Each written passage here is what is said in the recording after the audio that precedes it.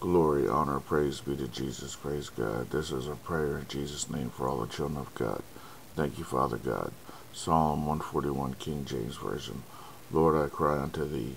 Make haste unto me. Give ear unto my voice when I cry unto thee. Let my prayer be set forth before thee as incense, and the lifting up of my hands as the evening sacrifice. Set a watch, O Lord, before my mouth. Keep the door on my lips.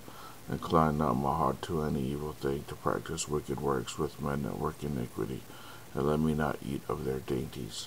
Let the righteous smite me, it shall be a kindness.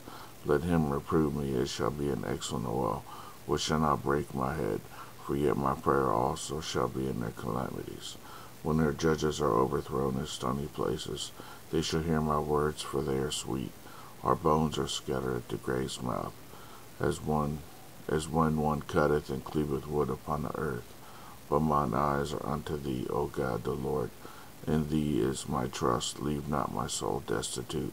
Keep me from the snares which they have laid for me, and the gins of the workers of iniquity.